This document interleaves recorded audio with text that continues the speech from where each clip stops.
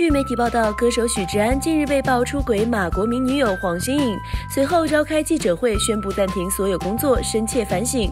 许志安原定在九月举行五至四场演唱会，现在已通通取消。Paco 透露，许志安情绪依然非常差。据知，Sammy 已经搬离了浅水湾，不肯见人，朋友都担心两人婚姻陷入危机。Paco 则表示，Sammy 原不原谅他是关键，这的确是两个人的事，外人好难评论。非凡娱乐实时报道。